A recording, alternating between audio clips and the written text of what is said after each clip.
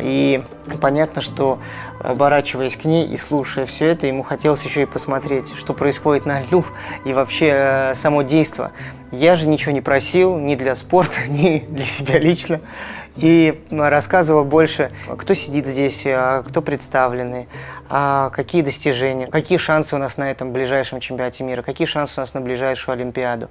А, был очень э, такой забавный момент – когда катались девочки из точных линий, это синхронное катание, когда вот в ряд более 20 человек. У нас сейчас развивается этот вид спорта, это очень популярно. Они были на открытии, и я сказал Владимиру Владимировичу, что вот очень забавно получается, если, не дай бог, кто-нибудь из них одна ошибается, они могут как домино упасть.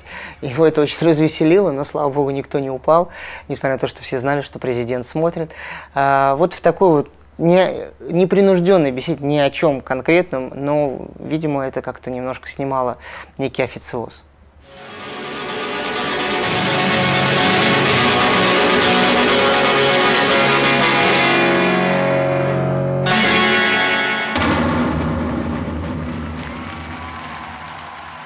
Большая часть звезд, которых вы пригласили в проект, не только большие знаменитости, но и прославились своим тяжелым характером.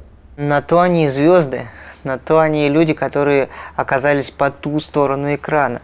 Но Волочков у вас ходит как паинька просто. Я вообще считаю, что мне удалось и удается пока находить общий язык практически с каждым. И это не голословное утверждение, а, потому что, вы понимаете, проект он состоит из нескольких э, этапов. Первый этап – это уговорить всех участвовать в нем, потому что это не на, раз, не, не на одну передачу прийти, это надо отдать полгода своей жизни. А, вторая часть проекта – это проект, это первый этап, в нем все хотят быть первыми, все чемпионы. И каждому мы даем этот шанс быть. Середине проекта – уже по ним становится понятно, кто в некой лидирующей группе, а кто в некой группе отстающих.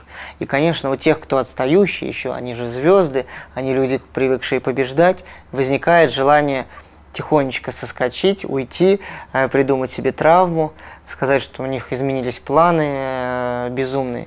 И здесь, э, конечно, нужно иметь такой серьезный психологический подход, чтобы удержать всех в проекте, найти для них новую мотивацию, чтобы они шли, шли вперед. И я вот с гордостью могу сказать, что за 4 года всех проектов у нас не было ни разу, чтобы а, вот кто-то действительно вышел из проекта, все доходили до конца. Но все-таки некоторым вы явно даете фору, потому что если вы ставите в партнеры Костомарова или Алексея Тихонова, это уже почти гарантированно первое-второе место. Я бы поспорил с вами, потому что а, в одном проекте Рома Костомаров выиграл а, с Чулпан Хаматовой, а уже на следующий год а, с другой партнершей он занял лишь девятое место. Это с кем он танцевал? А, с Аленой Бабенко. А при этом Алена Бабенко на следующий год в проекте, где было лучше, с Алексеем Тихоновым мы поменялись партнерами, заняла призовое место, став э, призером проекта, став э, на ступень пьедестала почета.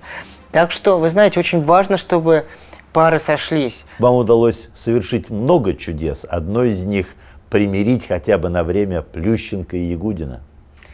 Да, это действительно такой очень судьбоносный момент, когда Женя был э, ведущим проекта «Звезды на льду», нашего первого проекта вместе с Ириной Слуцкой, а Леша Ягудин участвовал в нем, взвалил на себя, на мой взгляд, более тяжелую миссию, потому что, конечно, одиночнику кататься в паре вдвойне сложнее, но он решился на это, и мы долго боялись, что каждый из них может отказаться от участия в проекте только по причине, что я не буду, пока он будет.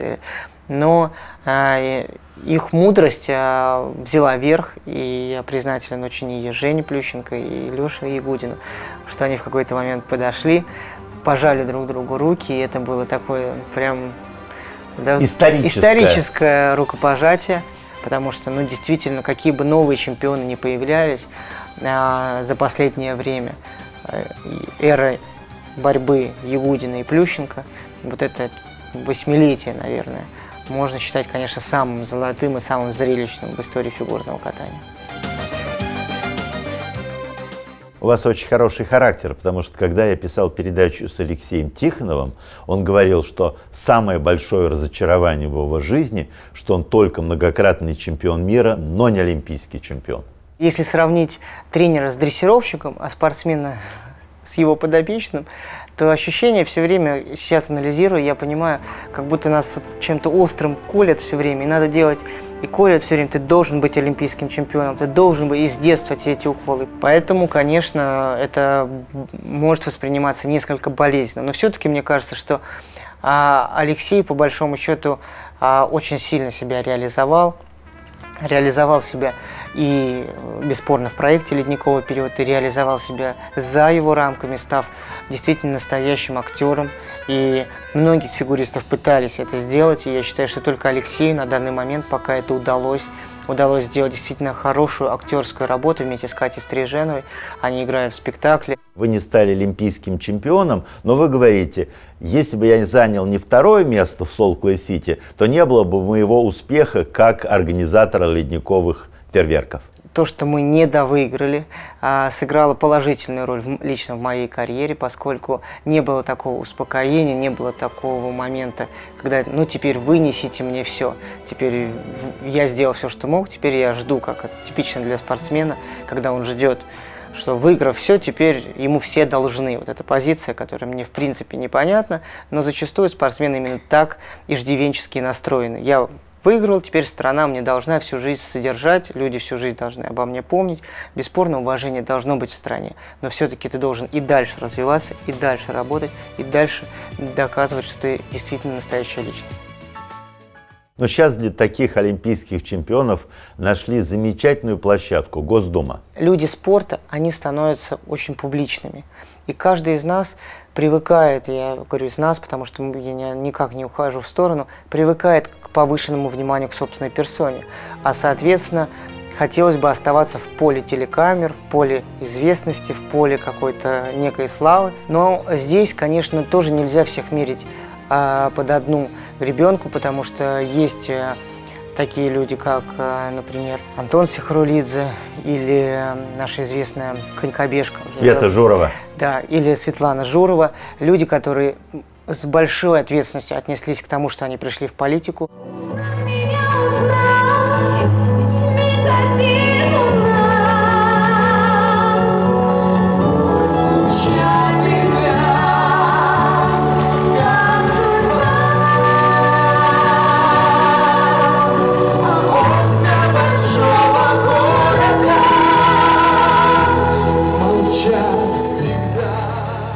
«Огни большого города». Спектакль «Огни большого города» – это для меня новая ступень именно в развитии творческом. Я считаю, что такого спектакля, уровня ледового спектакля ни у нас, ни за рубежом никогда не было. Мы приучили аудиторию, зрителя к некому дивертисменту, когда выходит фигурист, катает свой номер, чемпион, все замечательно.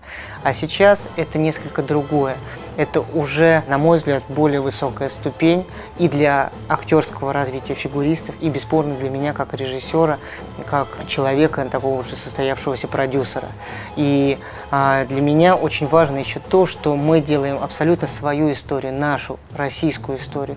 Я очень надеюсь, что зритель поддержит именно нас и за это, поскольку, конечно, много сейчас очень продуктов, э, очень много проектов сейчас, которые привозятся с Запада, Э, проектов, которые просто адаптируются, переводятся на русский язык и вперед.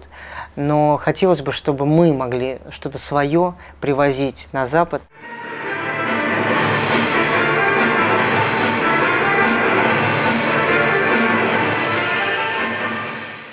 Илья, вы бы не стали фигуристом, если бы не героизм вашей мамы.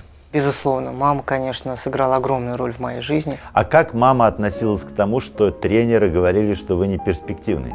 Она и верила в меня всегда и говорила, что это вы просто ничего не понимаете.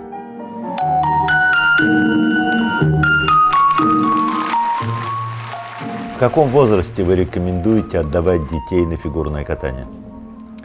А, сейчас, конечно, все очень быстро, все очень рано. Поэтому, если вы придете и придете своего ребенка в 6 лет, вам скажут, что вы пришли уже поздно. Поэтому в 4 года уже можно ставить ребенка, чтобы он топал по, по льду и немножечко потихонечку привыкал. И покупать ему коньки за 600 долларов? Ну, все зависит от благосостояния родителей. В данной ситуации я считаю, что здесь а, не стоит гнаться за дорогими коньками, потому что быстро вырастет ножка. И это не так принципиально. Более где-то после 10 лет уже, конечно, очень важно, на чем катается ваш ребенок.